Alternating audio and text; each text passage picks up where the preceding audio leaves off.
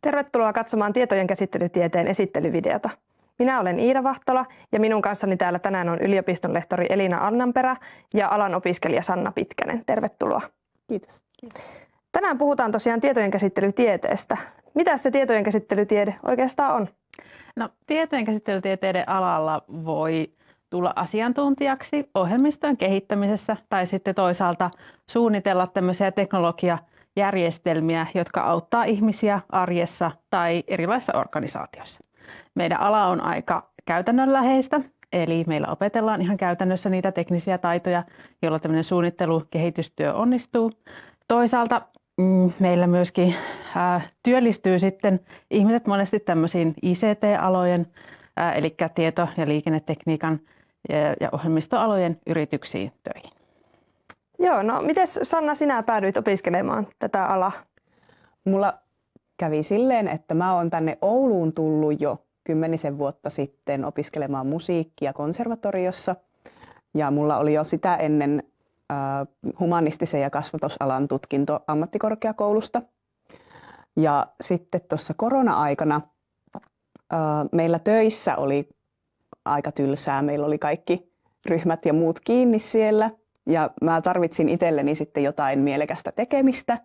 Ja mä löysin sen sitten avoimen yliopiston kursseista, että kun töissä ei ollut mitään kiinnostavaa tekemistä, niin sitten vapaa-ajalla pystyi tehdä niitä avoimen yliopiston kursseja ihan vaan huvin vuoksi.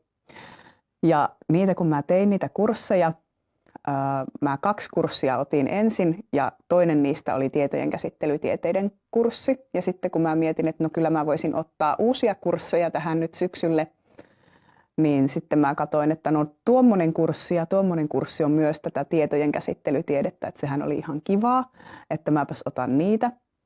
Ja sitten mä vaan otin niitä kursseja toisensa perään ja jossain vaiheessa huomasin, että mä pääsen niiden kurssien, mitä mä olin tehnyt tai valinnut perusteella sitten suoraan avoimen väylää pitkin tänne opiskelijaksi. Ja täällä mä nyt sitten oon ja, ja mä oon kyllä tykännyt olla kovasti. Kiva juttu. No, tässä näkyy sitten opintojen rakenne. Kertoisitko sä Elina, että mistä nämä opinnot oikeastaan koostuvatkaan? Joo. Eli ensinnäkin meillähän valmistutaan luonnontieteiden kandidaatiksi ja filosofian maisteriksi. Ja kandidaattivaiheessa 150 opintopistettä on itse asiassa kaikille yhteisiä opintoja.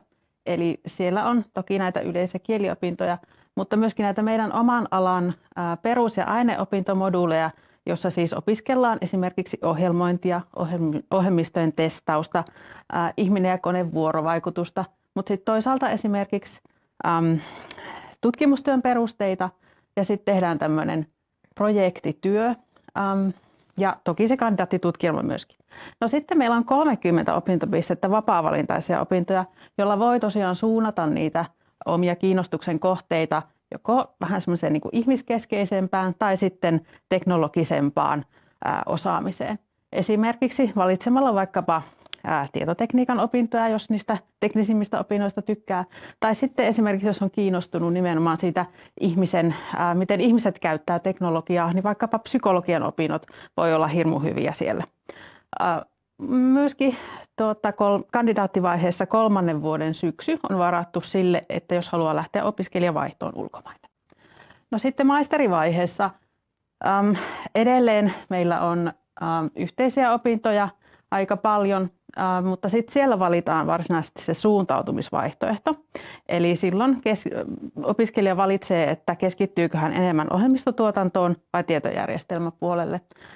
Lisäksi siellä voi sitten vielä porautua sitä omaa mielenkiinnon kohdettaan opiskelemaan tämmöisen erikoistumiskohteen kautta.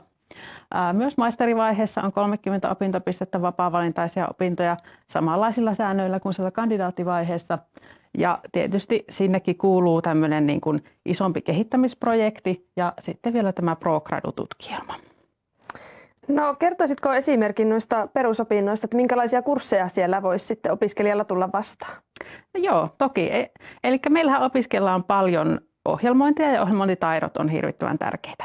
Ja sen takia ihan jo siellä ensimmäisen vuoden syksyllä tulee ää, alkaa opiskelijoilla ohjelmointi yksi kurssi, jossa siis lähdetään ihan alusta asti opettelemaan, että mitä se ohjelmointi on. Tehdään ää, toimivia yksinkertaisia ohjelmia. Ja me ei tosiaan oleteta tai vaadita, että opiskelija jo tullessaan meille osaa ohjelmoida. Se on kauhean hyvä, jos osaa, koska silloin tietää jo jotain, mutta se lähdetään tosiaan ihan alusta asti sitten opettelemaan. Joo, no Sanna, missä vaiheessa opintojasi sinä olet tällä hetkellä? Mä oon nyt toisen vuoden opiskelija, eli viime syksynä olen aloittanut ja nyt, nyt on sitten toista vuotta aloittelemassa tässä. Mutta mä oon saanut hyväksi luettua mun aikaisemmista ammattikorkeakouluopinnoista ja sitten niistä, mitä on avoimessa yliopistossa tehnyt, niin sen verran, että pyrin tekemään jo ensi keväänä sitten tuon kandi.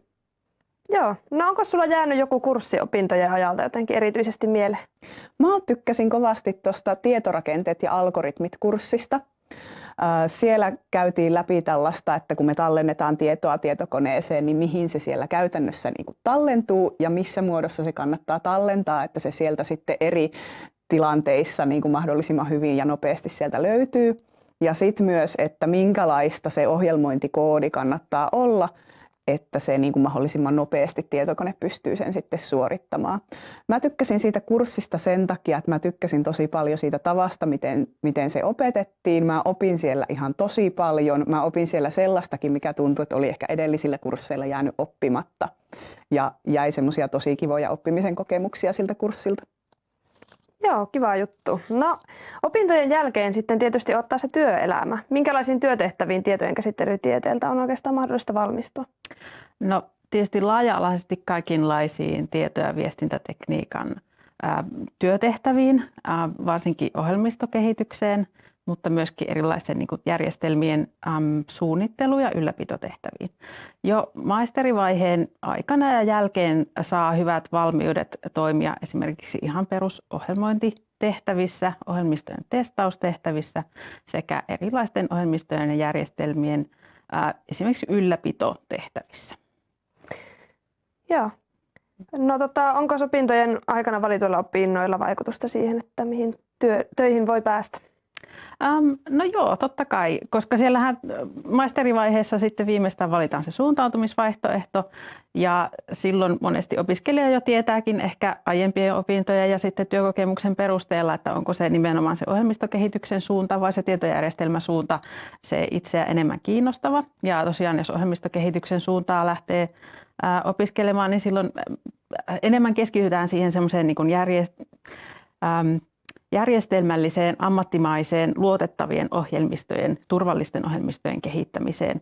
Ja sitten toisaalta tietojärjestelmän puolella mietitään sitten enemmän sitä järjestelmien vaikuttavuutta, käyttäjäkeskeisyyttä, tämmöisiä asioita. Ja no, olen tietysti nähnyt käytännössä, että urapolut voi olla hyvinkin monenlaisia meidän alalla. Eli kyllä sieltä opiskelija monesti sen oman juttunsa löytää ja se voi vähän tuota, se suuntautuminenkin monesti sitten niin kuin siinä tarkentuu sen opiskelijan omien mielenkiinnon suhteen niin perusteella. No Sanna, minkälaiset työtehtävät sinua kiinnostaisi sitten tulevaisuudessa? Mua kiinnostaisi työskennellä tämmöisellä ohjelmistokehitysalalla ihan vaikka jossain lääketieteeseen tai kasvatukseen tai koulutukseen liittyvissä projekteissa. Ja mun mielestä tässä alassa on tosi kiinnostavaa se, että tässä ei oppiminen lopu itsellä ikinä kesken, vaan pystyy aina löytämään jotain semmoista uutta, missä voi oppia lisää. Joo. Kiitos Elina ja Sanna sekä katsojat siellä ruudun toisella puolella. Lisätietoja tietojen käsittelytieteestä löydät oulu.fi nettisivuiltamme Kiitos ja näkemiin.